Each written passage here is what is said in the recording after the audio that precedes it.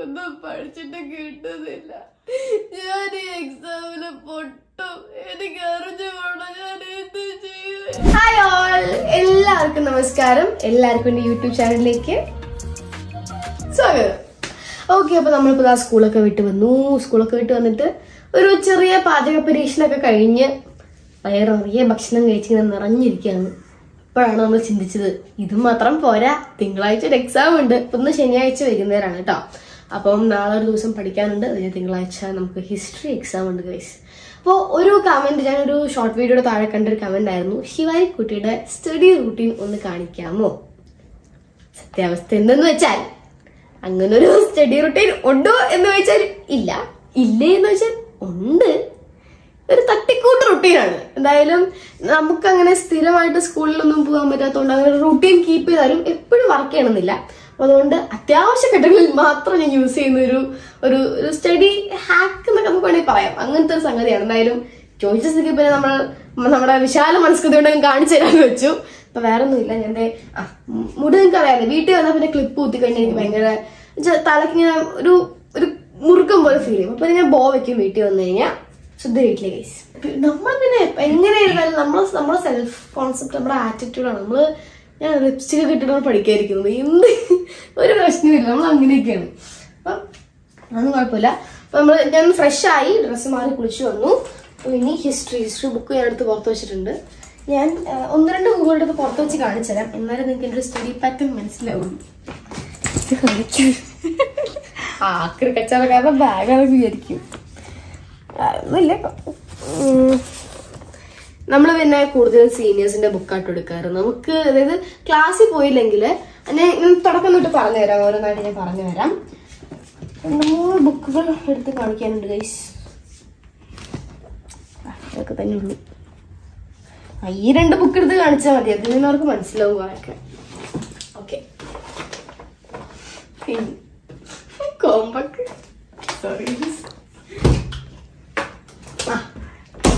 come on cinema your bag ചോദിച്ചിട്ടുണ്ട്. അപ്പൊ നമ്മൾ എടുത്ത് നോക്കൂ തേൾ പഴുതാരൊക്കെ ചാടാറുണ്ട് എന്ത് വേണമെങ്കിലും അതിൽ നിന്ന് വരും. അങ്ങനത്തെ ഒരു ഐറ്റം നമുക്ക് ഇടയ്ക്ക് എനിക്ക് പഠിക്കുമ്പോഴത്തേക്കും പെട്ടെന്ന് എവിടെ നിന്നില്ലാതെ വിശപ്പൊക്കെ വരും. ദാഹം വരും. ഇത് ഉറക്കം വരും. ബുക്ക് അങ്ങോട്ട് തുറന്നാ മതി. വേണ്ട. ബുക്ക് തുറക്കണ്ട ടേബിളിൽ വന്നിട്ട് തീപ്പെട്ടി ഇരുന്നാ മതി. ഇല്ലാത്ത വികാരങ്ങളൊക്കെ എവിടെ നിന്നൊക്കെ വരും അതുകൊണ്ട് അങ്ങനത്തെ ഇതിൽ അങ്ങനെ കഴിക്കുമ്പോൾ നമ്മൾ കുറെ കഴിക്കും. അപ്പൊ ജങ്ക് ഫുഡ് ഒക്കെ ആണെങ്കിലും സ്നാക്സ് ഒക്കെ ആണെങ്കിൽ നമ്മൾ കുറെ ഇരുന്ന് കഴിക്കും. അപ്പൊ അത് ഒഴിവാക്കാൻ വേണ്ടി അമ്മ എന്ത് ചെയ്യുന്ന വെച്ചാൽ ഇങ്ങനെ കുഞ്ഞു ഡപ്പയിൽ അപ്പം ഇത്രേ തരുള്ളൂ കഴിക്കേണ്ടത് നമുക്കതറിയാം. അപ്പൊ നമ്മൾ നേരം യൂട്ടിലൈസ് ചെയ്ത് കഴിക്കണം. അപ്പം അപ്പൊ നമുക്ക് വാശിയാണ്. ഞാൻ കുറെയൊക്കെ ഞാൻ ഇങ്ങനെയല്ല അവിടെ പറയണേ? നമുക്ക് നമുക്ക് ഇരുന്ന് സംസാരിക്കാം. ഇരിക്കൂ. സിറ്റ് ഡൗൺ ഞാൻ ഇരിക്കട്ടെ. ഓക്കെ അപ്പൊ എന്റെ ഒരു സ്റ്റഡി റൂട്ടീൻ എന്ന് പറഞ്ഞു കഴിഞ്ഞാൽ ഞാൻ ആക്ച്വലി എനിക്കൊരു ഒരു ഇൻട്രൻസിക് മോട്ടിവേഷൻ ഇല്ലെങ്കിൽ എനിക്ക് ഒട്ടും പഠിക്കാൻ പറ്റില്ല. എനിക്ക് എപ്പോഴും എനിക്കൊരു ഒരു ഗോൾ ഉണ്ടാവും. ആ ഗോളിന്റെ ബേസിസിൽ ഞാൻ പഠിക്കുള്ളൂ. അല്ലാണ്ട് ഡെയിലി ഉള്ള പഠിത്തമൊന്നും എനിക്ക് അത്ര ആപ്ലിക്കബിൾ അല്ല. ഞാൻ ആ എക്സാമിന്റെ സമയത്ത് മേ ബി ഒരു ഒരാഴ്ച മുമ്പ് ശരിക്കും കുത്തിയിടന്ന് പഠിച്ചു തുടങ്ങും. അങ്ങനെ പഠിച്ചാലേ എനിക്ക് ബൾക്കായിട്ട് എനിക്ക് ഇൻഫർമേഷൻ സ്റ്റോർ ചെയ്യാൻ പറ്റുള്ളൂ. ബൾക്കായിട്ട് ഇൻഫർമേഷൻ സ്റ്റോർ ചെയ്യുന്നതാണ് കുറച്ച് അതായത് ഞാൻ കൂടുതൽ അങ്ങനെയാണ് ചെയ്യാറ്. പക്ഷെ ശരിക്കും ദിവസം ദിവസം പഠിച്ചു പോയാൽ അത് എളുപ്പമാണ്. അതൊക്കെ പിന്നെ ഓരോരുത്തരുടെ കംഫർട്ട് അനുസരിച്ചാണ്. എനിക്ക് അതിന് ടൈം കിട്ടാറില്ല. അപ്പൊ പിന്നെ ഞാൻ ഇങ്ങനത്തെ ഒരു രീതിയാണ് പ്രിഫർ ചെയ്യാറ്. അപ്പോ എനിക്ക് പിന്നെ പറഞ്ഞില്ല? എനിക്ക് എന്താ വെച്ചാൽ എനിക്ക് ചെറിയൊരു ഒരു നമുക്കൊരു വാശി എന്നൊക്കെ പറയത്തില്ല. അങ്ങനെയാണ്. ഇത് ഈ പോഷൻ വരെ തീർക്കണം. ഈ പോഷൻ വരെ തീർത്തിട്ട് ഇന്ന് കിടക്കാവും. ഈ പോഷൻ വരെ തീർത്തിട്ട് ഇന്ന് അനങ്ങാവും. ഞാൻ അങ്ങനെയൊക്കെയാണ്. അപ്പം ഫുഡൊക്കെ കൊണ്ടുവയ്ക്കുമ്പോഴത്തേക്കും ഈ സെവൻ പോയിന്റ് ടു തീർക്കണവരെ സെവൻ പോയിന്റ് ടു തീർക്കണത് നോക്കാൻ പാടില്ല. സെവൻ പോയിന്റ് ടു തീർത്തിട്ടേ കഴിക്കാൻ പാടും അപ്പൊ അങ്ങനെ നമുക്ക് നമ്മുടെ തന്നെ നമ്മൾ ഡിസിഷൻ വെക്കും. അപ്പൊ അങ്ങനെയൊക്കെ ആകുമ്പോൾ എനിക്ക് പെട്ടെന്ന് പോഷൻ തീർക്കാൻ പറ്റും. അതായത് വിശന്നിട്ട് വയ്യ അല്ലെങ്കിൽ ദാഹിച്ചിട്ട് വയ്യ ഇത് തീർത്താലേ കുടിക്കാൻ പറ്റുള്ളൂ. വേഗം എങ്ങനെയെങ്കിലൊക്കെ പഠിച്ച് തീർക്കത് അങ്ങനത്തെ ഒരു സാധനത്തിലാണ് ഇരിക്കുന്നത് അപ്പം അത് വർക്ക് ആവാറുണ്ട് കേട്ടോ അങ്ങനെ ഒരു അതൊരു മോശമായിട്ടൊന്നും എനിക്ക് ഫീൽ ചെയ്യാറില്ല. അത് വർക്ക് ആവാറുണ്ട്. എപ്പോഴും അപ്പൊ അങ്ങനത്തെ ഒരു ഒരു കുട്ടികളെയാണെങ്കിൽ അങ്ങനത്തെ ഒരു മോട്ടിവേഷൻ വരുമ്പോഴത്തേക്കും എനിക്ക് ശരിക്കും വർക്ക് ആവാറുണ്ട് ഒരുപാട്. രണ്ടാം ഞാൻ ചെയ്തതെന്ന് വെച്ചാൽ പഠിക്കുമ്പോൾ ഇപ്പൊ ഞാൻ ഇത് ടെൻത്ത് തൊട്ട് ഞാൻ ഫോളോ ചെയ്യുന്ന ഒരു വലിയൊരു ഇതാണ് ഫോൺ ഫോൺ എനിക്ക് അൺലെസ് അതായത് ഞങ്ങൾ ഇപ്പം നോട്ട്സും കാര്യങ്ങളൊക്കെ നോട്ട് എഴുതി തുടങ്ങി. അതായത് നമുക്ക് ഓൺലൈനായിട്ട് കിട്ടൽ കുറവാണ്. നമ്മൾ സ്കൂളും കുറച്ചും കൂടെ ഓഫ്ലൈൻ ആയിട്ടുള്ളതാണ് പ്രൊമോട്ട് ചെയ്യുന്നത്. പക്ഷെ എപ്പോഴൊന്നും നടക്കണമെന്നില്ല. എന്നിരുന്നാലും ഫോൺ ഞാൻ പഠിക്കുമ്പോൾ സ്വിച്ച് ഓഫ് ചെയ്ത് വയ്ക്കും കാരണം അത്യാവശ്യം ചെറിയ ചെറിയ ഫോൺ ഡിക്ഷൻ ഒക്കെ ഉണ്ട്. കാരണം ഒരു റീൽ കണ്ട് അടുത്ത റീൽ കാണണം. അപ്പൊ ഒരു ഡാൻസ് ചെയ്യണം പിന്നെ അത് പഠിക്കണം. അങ്ങനെയൊക്കെ പെട്ടെന്ന് ഡൈവേർട്ടഡ് ആയി പോകും. എനിക്ക് അറ്റൻഷൻസ് ഭയങ്കര കുറവാണ്. ഇത്തിരി ഹൈപ്പർനെസ്സും ഉണ്ട്. അപ്പം ഫോൺ എപ്പോഴും സ്വിച്ച് ഓഫ് ചെയ്ത് വെച്ചിട്ട് പഠിക്കാനിരിക്കാറുള്ളൂ. അത് ചെറിയ ടൈമിലൊക്കെ പഠിക്കാനിരിക്കണമെങ്കിൽ അല്ല അല്ലാണ്ട് ഇപ്പൊ നമ്മളൊരു മൂന്ന് മണിക്കൂറൊക്കെ ഞാൻ രാവിലെ ഒരു പത്ത് മണിക്കൊക്കെ പഠിക്കായിരുന്നു. ഒരു മണി വരെയൊക്കെ ചിലപ്പോൾ കണ്ടിന്യൂസ് ആയിട്ട് പഠിക്കും. അങ്ങനെയാണെങ്കിൽ ഞാൻ എന്റെ ഫോൺ സ്വിച്ച് ഓഫ് ചെയ്ത് വെക്കും. പകരം പിന്നെ എന്തെങ്കിലും നോക്കാനുണ്ടെങ്കിലോ ഞാൻ നോട്ട്സ് ഒക്കെ അമ്മയുടെ ഫോണിലേക്ക് അയച്ചിട്ടിട്ട് അപ്പോൾ ഗൂഗിൾ മീറ്റിംഗ് നോക്കണമെങ്കിലോ ട്രാൻസ്ലേഷൻസോ അതൊക്കെ അമ്മയുടെ ഫോണിൽ നിന്ന് ഞാൻ നോക്കും. അപ്പൊ അമ്മയുടെ ഫോണിൽ പിന്നെ എനിക്കധികം എന്റെ എന്റെ സാമഗ്രികൾ ഫുൾ ഇതിനകത്താണല്ലോ. അപ്പം ഞാൻ അതങ്ങനെ ഒന്ന് നീക്കി വെക്കുമ്പോൾ എവിടെയും മാറ്റിയൊന്നും വെക്കില്ല. എന്നിട്ട് ഈ ചാർജ് ചെയ്യാനിടും അല്ലെങ്കിൽ ഓഫ് ചെയ്ത് ഇവിടെ തന്നെ വെച്ചേക്കും. അപ്പൊ പിന്നെ വെച്ചാൽ മൂന്ന് മണിക്കൂർ കഴിഞ്ഞിട്ട് ഫോൺ ഓൺ ആക്കുള്ളൂ. അപ്പൊ നമ്മൾ അങ്ങനെ പിന്നെ ഓൺ ആക്കുമ്പോൾ എന്തായിരിക്കും? അങ്ങനത്തെ ഒരു തോട്ടൊക്കെ നമ്മുടെ മൈൻഡിൽ ഉണ്ടാവുമല്ലോ അപ്പൊ അതിന് വേണ്ടിയൊക്കെ നമുക്ക് പെട്ടെന്ന് പഠിക്കാൻ പറ്റും. പിന്നെ എന്റെ ഒരു എന്റെ ഒരു ബിലീഫ് അനുസരിച്ച് ഫോൺ ഓഫ് ആക്കിയാൽ തന്നെ കുറെയൊക്കെ നമ്മുടെ ഇപ്പോഴത്തെ കുട്ടികളുടെ ഒരു കോൺസെൻട്രേഷൻ തിരിച്ചു വരുന്നതാണ് ഞാൻ വിശ്വസിക്കുന്നത്. ഞാൻ അങ്ങനെയാണ് കേട്ടോ. അപ്പൊ അതുകൊണ്ട് എന്റെ ഒരു എക്സ്പീരിയൻസിൽ ഞാൻ പറയാണ്. അപ്പൊ ഫോൺ ഒരു പോയിന്റ് ആണ് പിന്നെ എന്ന് പറഞ്ഞാൽ എന്താ എപ്പോഴും പഠിക്കുമ്പോഴത്തേക്ക് അത് അമ്മയുടെ റൂളാണ് പഠിക്കുമ്പോൾ we should have water on ആ ടേബിൾ കാരണം നമ്മൾ പഠിക്കുമ്പോഴത്തേക്ക് നമുക്ക് ശരിക്കും ദാഹിക്കും നന്നായിട്ട് പഠിക്കുന്നുണ്ടെങ്കിൽ ശരിക്കും ദാഹിക്കുന്ന പറയുന്നത് ഞാൻ അനുഭവിച്ചിട്ടുള്ള കാര്യമാണ്. അപ്പം വെള്ളം ഇടയ്ക്കിടയ്ക്കിടയ്ക്ക് കുടിച്ചുകൊണ്ടിരിക്കണം അപ്പം നമ്മൾ പെട്ടെന്ന് പെട്ടെന്ന് പെട്ടെന്ന് റിഫ്രഷ് ആവും. അതുകൊണ്ട് എന്തായാലും പഠിക്കുന്നതിന് മുമ്പ് ഞാനൊരു കുപ്പി വെള്ളം നിറച്ച് കൊണ്ടുവന്ന് ടേബിളിൽ വെച്ചേക്കും. പിന്നെ ഇവിടെ നോക്ക്. ഇവിടെ നോക്കേണ്ട ആവശ്യമില്ല. അപ്പേ എന്ന് പറഞ്ഞാൽ വാച്ച് അപ്പം ഫോൺ നമ്മൾ ഓഫ് ആക്കി കഴിഞ്ഞാൽ ഇവിടെ മുറിയാണെങ്കിൽ ക്ലോക്ക് ഇല്ല. അപ്പൊ നെക്സ്റ്റ് ഓപ്ഷൻ ഇസ് വാച്ച് അതിനിടയ്ക്ക് എയ്റ്റ് ഹൺഡ്രഡ് കേക്ക് കുറെ പേര് വിഷ് ചെയ്തിട്ടുണ്ടായിരുന്നു. താങ്ക് യു അയ്യോ ഞാൻ പറയാൻ മറന്നു. അങ്ങനെ നമ്മൾ എയ്റ്റ് ഹൺഡ്രഡ് കെ ഫാമിലി ആയിരിക്കുകയാണ്. Guys thank you so much thank you thank you കാരണം യൂട്യൂബ് ചാനൽ തുടങ്ങിയിട്ട് ഇപ്പൊ അത്യാവശ്യം എത്ര വർഷമായി? ഒരു സിക്സ് സിക്സ് സിക്സ് ഇയേഴ്സോളം കഴിഞ്ഞു. സിക്സ് ടു സെവൻ ആയിട്ടുണ്ട് അല്ലേ? അപ്പം ഒരു ഏഴ് വർഷത്തെ നമ്മുടെ പരിശ്രമത്തിന് ശേഷം we are reaching eight hundred K അപ്പം നിങ്ങൾക്ക് ഒരുപാട് നന്ദിയുണ്ട് ഒരുപാട് thank you lots of love lots of kisses lots of hugs കാരണം നിങ്ങളില്ലെങ്കിൽ നമ്മുടെ ഈ ഒരു ഈ ഒരു യൂട്യൂബ് ചാനൽ ഇല്ല. നിങ്ങളുടെ സപ്പോർട്ടാണ് നമുക്ക് എല്ലാം അപ്പം ഇത്രയും നാൾ സപ്പോർട്ട് തന്നതിനും ഒക്കെ ഒരുപാട് താങ്ക്സ് നിങ്ങൾ പ്രാർത്ഥിച്ചതിലൊക്കെ താങ്ക്സ് അപ്പം എന്തായാലും ഈ നമുക്ക് വൺ മില്യൺ അടിക്കണം. അത് കഴിഞ്ഞ് ടെൻ മില്യൺ അടിക്കണം. അപ്പം കൂടെ നിൽക്കുക കട്ടക്ക് നിൽക്കുക. So thanks a lot for that and back to പഠിത്തം. പിന്നെ പറഞ്ഞാൽ നമ്മുടെ ഗോൾസ് എപ്പോഴും എഴുതി വെക്കുക ഇതാണ് നമ്മുടെ വർക്ക് ടു ഡു അതായത് എന്റെ ഒരു ബോർഡ് എന്ന് പറയത്തില്ല? അങ്ങനത്തെ ഒരു സംഗതിയാണ്. അപ്പം എക്സാം ടൈം ഒക്കെ ആകുമ്പോഴത്തേക്കും ശരിക്കും ഞാൻ എന്റെ ടൈം ടേബിൾ ഇത്ര സമയം ഇത്ര ദിവസം ഒരു ഡേ ഞാൻ ഇന്നത്തെ ദിവസം എന്ത് തീർക്കുമെന്ന് ഇപ്പൊ നമ്മൾ വെറുതെ അതായത് സ്റ്റഡി ലീവ് കിട്ടില്ലേ അപ്പോഴാണ് ഏറ്റവും ആപ്ലിക്കബിൾ നമ്മൾ രാവിലെ ഇവിടെ എഴുതിയിടുക ഇത്ര രാവിലെ ടെൻ ടു ലെവൻ ഇന്ന സബ്ജക്ട് ഇത്ര പോർഷൻ അത് കഴിഞ്ഞ് ലെവൻ ടു ട്വൽവ് ഇന്ന സബ്ജക്ട് ഇത്ര പോർഷൻ ഫുഡ് കഴിക്കുക വെള്ളം കുടിക്കുക. അത് അത് വെള്ളം കുടിക്കാന്ന് ഇവിടെ അത് അമ്മയുടെ അമ്മയ്ക്ക് ഞാൻ വെള്ളം കുടിച്ചില്ലെങ്കിൽ സമാധാനമില്ല. അപ്പൊ മോൾ എഴുതിയിട്ടുണ്ട് drink water every twenty minutes അപ്പൊ നമ്മൾ നമ്മൾ എന്തെങ്കിലും കാര്യം റാൻഡമി തിരിഞ്ഞു നോക്കുമ്പോൾ ഇത് കാണും. അപ്പം ഈ നമ്മൾ ഇന്ന് ഇത്തിരി ഡൈവേർട്ടഡ് ആയിരിക്കുകയാണെങ്കിൽ പോലും ഇത് കാണുമ്പോൾ നമുക്ക് ആ ചെയ്ത് തീർക്കാനായിട്ട് ചെയ്ത് തീർത്തേ പറ്റുള്ളൂ എന്നുള്ള ആ ഒരു ആ ഒരു തോട്ട് കിക്കും ചെയ്യും. അപ്പൊ നമ്മൾ എന്ത് ചെയ്യും? വീണ്ടും ആ ഒരു പാത്രത്തിലേക്ക് തിരിച്ചു വരും. കാര്യങ്ങളൊന്നും ഓർമ്മ ഓർമ്മിക്കും. ഇത് വേറൊരു ഇതിനോട് ഞാൻ യൂസ് ചെയ്യാറുണ്ട്. നമുക്കിപ്പം ഞാൻ ടെൻത്തിലൊക്കെ പഠിച്ചിരുന്ന സമയത്ത് എന്റെ റൂം ഫുള്ള് ഇങ്ങനെ സ്റ്റിക്കി നോട്ട്സ് ഉണ്ടാവാറുണ്ട് കേട്ടോ ഈ ഫോമുലാസ് സയൻസിലാണെങ്കിൽ ഫോമുലാസ് മാത്സിന്റെ ഫോമുലാസ് പിന്നെ ഈ സ്ഥലങ്ങൾ അതാണ് എനിക്ക് ഏറ്റവും സീൻ ഈ സ്ഥല ഇയേഴ്സ് ഏത് വർഷം എന്ത് നടന്നു പിന്നെ എവിടെ നടന്നു അതെനിക്ക് ഭയങ്കര കൺഫ്യൂഷൻ ഒരു കാര്യമാണ്. അപ്പൊ അത് ഞാൻ എഴുതിയിടും. അപ്പോൾ ഇപ്പം ഇപ്പം ഞാൻ ഹിസ്റ്ററി ഞാൻ ഹ്യൂമാനിറ്റി സ്ട്രീം എടുത്തിരിക്കുന്നതുകൊണ്ട് ഹിസ്റ്ററിയാണ് എന്റെ കോർ സബ്ജക്റ്റ് അപ്പം അങ്ങനത്തെ വർഷങ്ങൾ അങ്ങനത്തെ കാര്യങ്ങളൊക്കെ ഞാൻ എഴുതിയിടും. എവിടെയെങ്കിലുമൊക്കെ എഴുതിയിടും. ഇവിടെ അല്ലെങ്കിലും നമ്മൾ ഫ്രീക്വന്റ്ലി നോക്കുന്ന എവിടെയെങ്കിലും ടെക്സ്റ്റോ അല്ലെങ്കിൽ അങ്ങനെ എവിടെയെങ്കിലും ഞാനൊന്ന് നോക്കി അത് ചെയ്തു വെച്ചേക്കും. അതൊരു കാര്യമാണ്. ഇത്രയും പറഞ്ഞിട്ട് ദാഹിക്കുന്നു. കുറച്ച് വെള്ളം കുടിക്കാം. അയ്യോ.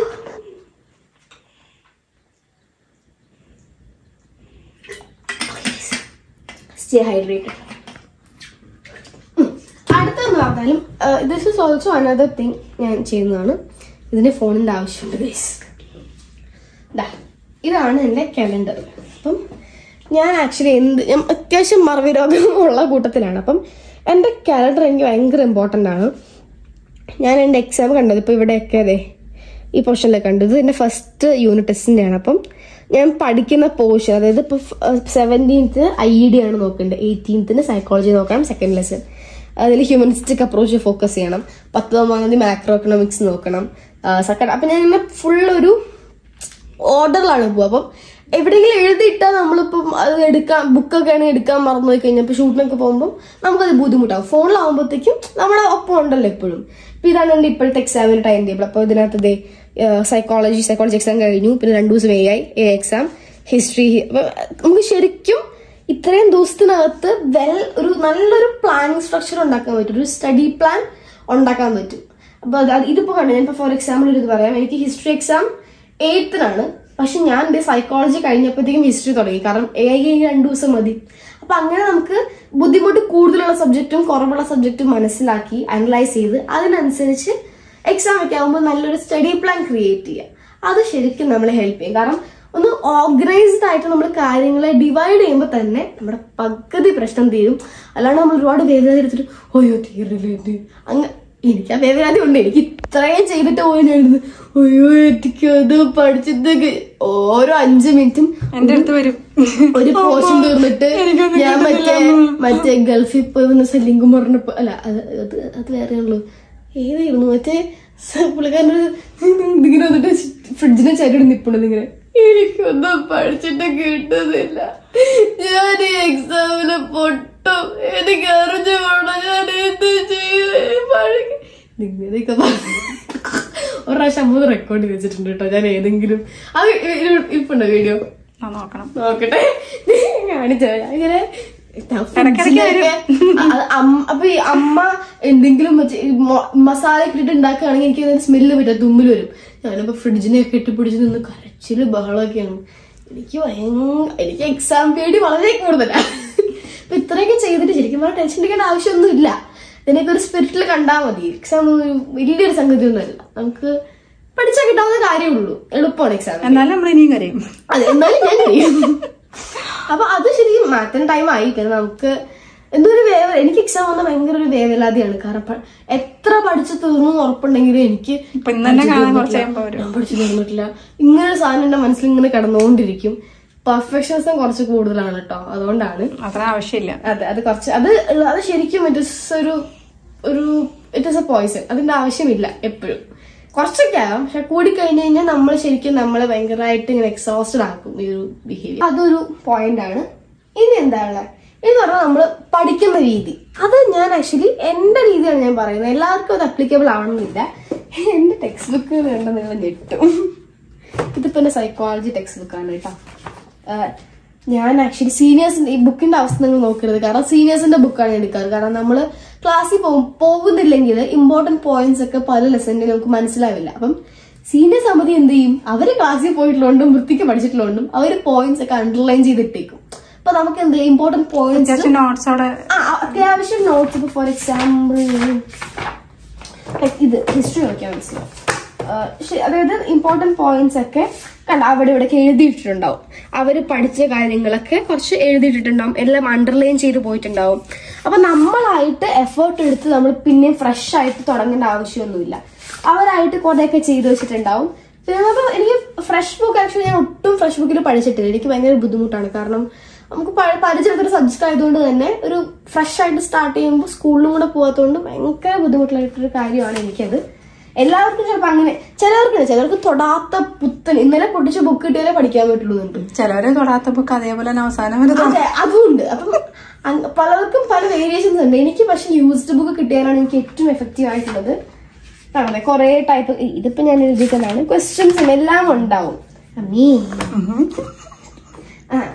അത് അതൊന്നും ഒന്നുമല്ല എന്റെ ഹിസ്റ്ററി സൈക്കോളജി ബുക്ക് തുറക്കണം. ഞാൻ ആക്ച്വലി നമ്മൾ ക്ലാസ്സിൽ ലെസൺ എടുക്കില്ലേ? അപ്പൊ ഞാൻ എന്താണെന്ന് വെച്ചാൽ പെൻസിൽ കൊണ്ട് അണ്ടർലൈൻ ചെയ്യും. ജസ്റ്റ് മിസ് ഇപ്പം ആ ഇത് അണ്ടർലൈൻ ചെയ്യണം എന്ന് പറയുമ്പോഴത്തേക്കും അണ്ടർലൈൻ ചെയ്തു പോകും. സാധാരണ പെൻസിൽ കൊണ്ട് നമ്മൾ അണ്ടർലൈൻ ചെയ്തു പോകും. ഇമ്പോർട്ടന്റ് ആയിട്ടുള്ള വാക്കാണെങ്കിൽ ഒന്ന് ഒന്ന് ഡാർക്കായിട്ട് അണ്ടർലൈൻ ചെയ്യും. അങ്ങനെയാണ് നമ്മൾ ക്ലാസ്സിൽ പഠിക്കുക. ക്ലാസ്സിൽ ജസ്റ്റ് ലെസൺ എടുത്തു പോകുമ്പോൾ ചെയ്യാം. അത് കഴിഞ്ഞ് എക്സാം ടൈം ആകുമ്പോഴത്തേക്കും ഈ സാധനം നമുക്ക് മെമ്മറിയിലേക്ക് ഫീഡ് ചെയ്യണമെന്നാവില്ലേ? ആ ടൈം ആകുമ്പോഴത്തേക്കും ഞാൻ എന്താണെന്ന് വെച്ചാൽ ഹൈലൈറ്റർ എടുക്കും. ഇതിൽ ഞാൻ ഫേബർ കാസിൽ എന്ന കമ്പനിയോട് എന്റെ ഒരു താഴ്മ അപേക്ഷ പറയാണ് എനിക്ക് അഞ്ച് കളർ കൊണ്ട് പോരാ. നിങ്ങളൊരു അഞ്ചാറ് കളർ കൊണ്ട് ഇറക്കണം. എനിക്ക് അഞ്ച് കളർ കൊണ്ട് ഞാൻ മിക്സ് ആയി മാച്ച് ചെയ്തിട്ട് അഞ്ച് ആറേഴ് കളർ ഉണ്ടാക്കുന്നുണ്ട് ഇപ്പോൾ മൂന്ന് നാല് അഞ്ച്. മഞ്ഞ എന്തേ? ആറ് ആറ് കളർ ഹൈലൈറ്റർ എനിക്കുണ്ട് ഗൈസ് കാരണം എനിക്കിത് ഇല്ലാണ്ട് പറ്റില്ല. അത്ര ഒരു എനിക്ക് അങ്ങനെ വേണം. എന്നാലേ നടക്കത്തുള്ളൂ എന്നുള്ളൊരിതാണ്. അപ്പം ഫേവർ കാസ്റ്റിലോടും മറ്റേത് ആർട്ട് ആൻഡ് ക്രാഫ്റ്റ് കമ്പനികളോടും നിങ്ങൾ കുറച്ചുകൂടി കളറുള്ള ഹൈലൈറ്റേഴ്സ് ഇറക്കേണ്ടതാണ് ഗൈസ് എനിക്ക് ഇത്രയും പോരാ ഞാനിപ്പോൾ ബ്ലൂവും പിങ്കും മിക്സ് ചെയ്ത് വയലറ്റ് കളറൊക്കെ ഉണ്ടാക്കുന്നുണ്ട്. കാരണം കൂടുതൽ കളേഴ്സ് ഉണ്ടെങ്കിൽ ഞാൻ അങ്ങനെ കൂടുതൽ കളേഴ്സും കളർഫുൾ ഉണ്ടെങ്കിൽ എനിക്ക് പെട്ടെന്ന് പഠിക്കാൻ പറ്റും. ഇപ്പം ട്വൽത്ത് ഒക്കെ ആകുമ്പോഴത്തേക്കും ഉള്ളൊരു പ്രശ്നം എന്താണെന്ന് വെച്ചാൽ ടെക്സ്റ്റ് ബുക്ക് ഇതാ ഇതാണ് ഞങ്ങളുടെ ടെക്സ്റ്റ് ബുക്ക് വരുന്നത് ഇതിനകത്ത് കാണാൻ പറ്റുമോ? തേർഡ് ക്ലാസ്സിൽ കാണാൻ പറ്റും. Third ഇപ്പൊ മറ്റേ എൽ കെ ജിക്കാരുടെ ആ. എന്താ കളിക്കുടുക്കൊക്കെ ക- അത് അതുപോലെയാണ്. പക്ഷെ പ്രശ്നം എന്താ വെച്ചാലുണ്ടല്ലോ ഒരു വിഷയം അതായത് ഇപ്പം ഇത് പോകുന്നതുണ്ടോ ഇവിടെ തൊട്ടിട്ട് ഇവിടെ വരെ ഒറ്റടികേ പോകുന്നത് അപ്പം പല ടോപ്പിക്കും ഇതിന്റെ കീഴിൽ വരും. അപ്പൊ നമ്മൾ ഓരോ ടോപ്പിക്കിനെ സ്പെസിഫൈ ചെയ്ത് ഞാൻ ഓരോ ടോപ്പിക്കിന് ഓരോ കളറാണ് കൊടുക്കുക.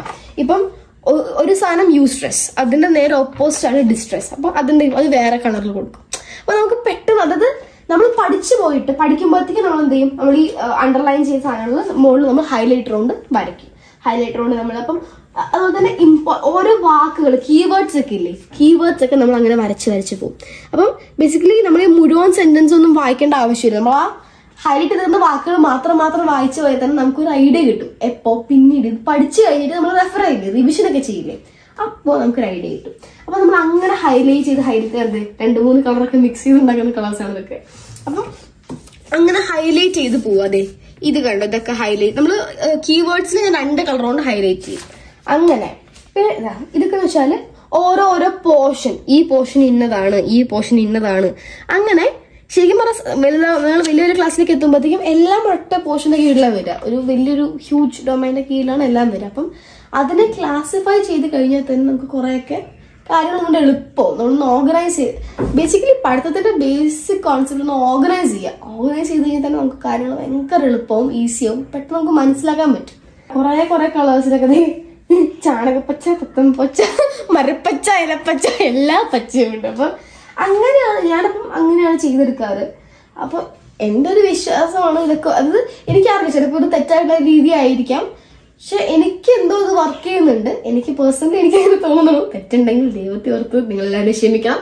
എന്തെങ്കിലും നിങ്ങൾക്ക് എന്തെങ്കിലും ടിപ്സ് ഒക്കെ ഉണ്ടെന്നുണ്ടെങ്കിൽ നിങ്ങൾക്ക് കമന്റിൽ എനിക്ക് പറഞ്ഞു തരാം കേട്ടോ അപ്പൊ എല്ലാവർക്കും കാണാനും പറ്റും. അവരെ ഒരുപാട് ഹെൽപ്പ് ചെയ്യും. അപ്പൊ എനിക്ക് this is very heavy working അപ്പം പിന്നെ വെച്ചാൽ നമുക്ക് വെറുതെ നമ്മൾ പഠിച്ചു കഴിഞ്ഞിട്ട് വെറുതെ നമ്മൾ ടെക്സ്റ്റ് തുറക്കുമ്പോൾ തന്നെ ഉണ്ടല്ലോ ഓരോ കളർ അനുസരിച്ച് നമുക്ക് മനസ്സിലാവും ടോപ്പിക് എന്താണ്.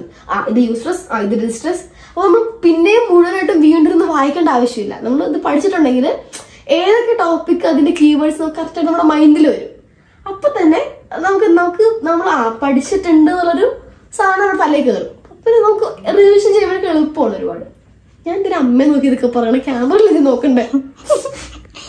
അപ്പം അതങ്ങനെ. പിന്നെ ഓരോരോ പോർഷനെ കണ്ടോ? പല രീതിയിലേക്ക്. ഇപ്പൊ ഇതൊരൊറ്റ അപ്രോച്ചാണ് ഈ അപ്രോച്ചിൽ അപ്രോച്ചിന്റെ ഡെഫിനേഷൻ ഇത് അതിന്റെ സിംറ്റംസ് ഇത് അതിലെ പോസിറ്റീവ് അതിലെ നെഗറ്റീവ് അതിന്റെ അങ്ങനെ ഓരോ കാര്യങ്ങൾക്കും ഓരോ കളർ കൊടുക്കുക. അപ്പൊ അങ്ങനെ നമുക്ക് പെട്ടെന്ന് ഈ സാധനം ഒരു വലിയ ഒരു ഇതൊരു ഹ്യൂജ് കണ്ടന്റ് ആണ്. അത് നമുക്ക് എളുപ്പത്തിൽ പാക്ക് ചെയ്യാൻ പറ്റും. എനിക്ക് പറ്റും എനിക്ക് പറ്റി തുടങ്ങി. മുമ്പൊന്നും പറ്റുണ്ടായിരുന്നില്ല. പിന്നെ നമ്മളെ കൊണ്ട് പറ്റുമെന്ന് വിശ്വസിച്ച് തുടങ്ങിയപ്പോഴത്തേക്കും ഡൺ ആണ്. അങ്ങനെയാണ് ഞാൻ ഇപ്പം സൈക്കോളജി കൂടുതലും അങ്ങനെയാണ് പോവാറ് കണ്ടത് പിന്നെ സ്റ്റിക്കേഴ്സ് അത് വലിയൊരു പോയിന്റ് ആണ്. അപ്പം നമുക്ക് ടെക്സ്റ്റിനകത്തൊക്കെ വലിയ വലിയ നീണ്ട നീണ്ട പാരഗ്രാഫ് പോലെ കൊടുത്തേക്കുന്ന സാധനങ്ങൾ നമുക്കിത് വളരെ സിമ്പിളായിട്ട് ഇത് ഇത്രയുള്ള സാധനത്തിനകത്ത് ഒതുക്കാൻ പറ്റും. അത് ആക്ച്വലി നമ്മൾ ഇത്രയും വലിയ ഇപ്പോൾ പഠിക്കുമ്പോഴാണെങ്കിലും ഇത്രയും വലിയൊരു പാരഗ്രാഫ് നമ്മൾ വിചാരിക്കും ദൈവമേ ഇത് പഠിക്കാതെ ഇങ്ങനെ പഠിച്ചെടുക്കും. സത്യം പറഞ്ഞാൽ ഒന്നും ഉണ്ടാവില്ല. ഈ ഒരു സ്റ്റിക്കിനോട്ടിനുള്ളിൽ തീർക്കേണ്ട സാധനം ഉണ്ടാവുള്ളൂ ഇത്. അപ്പൊ നമ്മളൊന്ന് സാധനം വൃത്തിക്ക് വായിക്കുക. അതിനകത്ത് ഈ കുറെ എക്സാമ്പിൾസും കുറെ അൺവാണ്ടഡ് ആയിട്ടുള്ള വാക്കുകളൊക്കെ ഉണ്ടെങ്കിൽ അതൊക്കെ മാറ്റിയിട്ട് കണ്ടന്റ് നമ്മൾ എന്ത് ചെയ്യുക? ഇങ്ങനെ നേരത്തെ എഴുതി വെക്കുക. അപ്പൊ നമുക്ക് പിന്നെ ഇത് മാത്രം നോക്കിയാൽ മതി. നമ്മൾ എക്സാമിനൊക്കെ പോകുമ്പോഴത്തേക്കും ഒരു ലാസ്റ്റ് വേർഷൻ ഇല്ലേ? ഇത് മാത്രം നോക്കിയാൽ മതി. കുറെ നമുക്ക് മനസ്സിലാവും. നമ്മൾ പഠിച്ചിട്ടുണ്ടെങ്കിൽ ശരിക്കും ഇത് പിന്നെ ഇങ്ങനെ ഫ്ലോ ചാർട്ട്സ് ഒക്കെ ഇല്ലേ? ഫ്ലോ ചാർട്ട്സ് ഡയഗ്രാംസ് അതൊക്കെ നമ്മുടെ മൈൻഡിനെ പെട്ടെന്ന് അത് നമ്മുടെ മൈൻഡിൽ പെട്ടെന്ന് ഗ്രാസ്പ് ചെയ്യാൻ പറ്റും. ഫ്ലോ ചാർട്ടിന്റെ ഫോമിൽ ഡയഗ്രാംസിന്റെ ഫോമിൽ പൈ ചാർട്ട് അങ്ങനെയൊക്കെ ചെയ്യുമ്പോഴത്തേക്കും നമ്മളും നമുക്കും ഇൻട്രസ്റ്റ് ഉള്ള കാര്യമാണ് ഇങ്ങനെ വരച്ച് ചെയ്യാനൊക്കെ. നമ്മുടെ മൈൻഡും പെട്ടെന്ന് അത് ഗ്രാസ്പ് ചെയ്യും. നമുക്ക് കുറച്ചുകൂടി ഇൻട്രസ്റ്റ് ഉണ്ടാവും. പിന്നെ ഇത് ഞങ്ങളുടെ ടീച്ചർ പറഞ്ഞ ഒരു അറിവാണ് ഗൈസ് റെഡ് കൊണ്ട് നമ്മൾ എഴുതി കഴിഞ്ഞ് കഴിഞ്ഞാൽ പെട്ടെന്ന് നമ്മുടെ മൈൻഡ് അതിനെ ഗ്രാസ്പ് ചെയ്യുന്ന. റെഡ് എന്ന് പറഞ്ഞ കളർ നമുക്ക് ഭയങ്കര അട്രാക്റ്റീവ് ആണ്. ഈ ട്രാഫിക് സിഗ്നലിലൊക്കെ അതുകൊണ്ടാണ് റെഡ് കൊടുത്തിരിക്കുന്നത് ഏത്? അപ്പോൾ റെഡ് കൊണ്ട് എഴുതി കഴിഞ്ഞ് കഴിഞ്ഞാൽ കുറച്ചുകൂടെ നമുക്ക് പെട്ടെന്ന് ഗ്രാസ്പ് ചെയ്യാൻ പറ്റുമെന്ന് മിസ് പറഞ്ഞു. അതുകൊണ്ട് കുറച്ച് അതുകൊണ്ട് ഞാൻ ഇപ്പൊ കുറച്ചുകൂടെ ഇങ്ങനത്തെ പിങ്കും ഐ മീൻ ഓറഞ്ചും പിങ്കും കളേഴ്സ് ഒക്കെ യൂസ് ചെയ്യുന്നത്. അപ്പൊ കുറച്ചും കൂടെ നമ്മുടെ ഒരു റെഡിനോട് സിമിലർ ആണ്. അപ്പൊ കുറച്ചുകൂടെ നമുക്ക് ബ്രെയിനിലേക്ക് സ്ട്രൈക്ക് ചെയ്യുന്ന രീതിക്കാണ് ഞാൻ അങ്ങനത്തെ യൂസ് ചെയ്യുന്നത്. പിന്നെ റെഡ് കൊണ്ട് എഴുതുക കാരണം കാര്യങ്ങളൊക്കെ എന്താണെന്ന് എഴുതി വെക്കുക. അങ്ങനെയൊക്കെയാണ് ഫുൾ ഫുൾ കാര്യങ്ങൾ റെഡ് കൊണ്ടൊക്കെയാണ് ഞാൻ ഓൾമോസ്റ്റ് എഴുതുന്നത്. പിന്നെ ഒരു ഇതിനകത്ത് വരുന്ന പോയിന്റ്സ് നമുക്ക് എപ്പോഴും വരുന്നൊരു പ്രശ്നമാണ്. ഒരു വലിയൊരു ടോപ്പിക് ആണെങ്കിൽ അതിന് താഴെ എത്ര പോയിന്റ്സ് ഉണ്ട് നമ്മൾ മറന്നു അപ്പോൾ കോഡ് ഉണ്ടാക്കുക. എന്റെ ഏറ്റവും വലിയൊരു ഞാൻ എന്താ കോഡ് ലാംഗ്വേജ് കോഡ് കൊണ്ട് മാത്രമാണ് പല എക്സാമും ഞാൻ ജയിച്ചു പോകുന്നത്. എന്റെ കോഡുകൾ ഞാൻ കാണിച്ചിട്ടുണ്ടേ ആർട്ടിസോ ഇതാണ് കോഡ് ആർട്ടിസോ എന്ന് പറഞ്ഞാൽ basically assertiveness time A R rational thinking T time management I improving relationships S self care O overcoming unhelpful habits അപ്പം ആർട്ടിസോ അതൊരു കോഡാണ് അപ്പൊ ലൈഫ് സ്കില്ലിന്റെ കോഡ് ആർട്ടിസോ അതിനകത്ത് ആറ് പോയിന്റ് നമുക്ക് മനസ്സിലായി. അങ്ങനെ കോഡ് ഞാൻ ഫുള്ള് കോഡിന്റെ ഇതിലാണ് പറയുന്നത് ഇവിടെ കണ്ടോ ഡെപ്സ് ഇപ്പൊ ഡെപ്സ് എന്ന് പറയുമ്പോഴത്തേക്കും ഇതിന്റെ താഴെ വരുന്ന അഞ്ച് point diet exercise positive attitude positive thinking social support debts അങ്ങനെ. എന്റെ ഫസ്റ്റ് ലെസണിൽ എനിക്ക് ഇരുപത്തിയാറ് കോഡ് ഉണ്ടായിരുന്നു. ഇരുപത്തിയാറ് കോഡ് ആക്ച്വലി എളുപ്പമാണ്. എനിക്ക് ഓർത്ത് വയ്ക്കാൻ പ്രശ്നമൊന്നുമില്ല. എളുപ്പത്തിൽ എനിക്ക് കിട്ടുന്നുണ്ടായിരുന്നു. എവിടെ? കോഡ്സ് അതേ കണ്ടോ.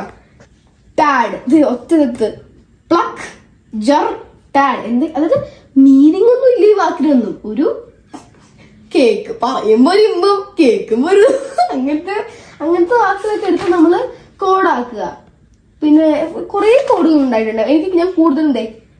സെസ് അങ്ങനെയൊക്കെ. സെസ് ലെസ് അങ്ങനെയൊക്കെയാണ് കോഡുകൾ ഉണ്ടാക്കാറ്.